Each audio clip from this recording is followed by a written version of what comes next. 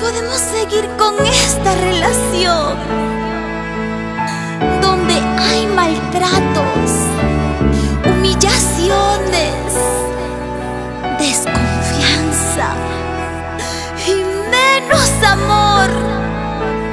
Es mejor decir adiós.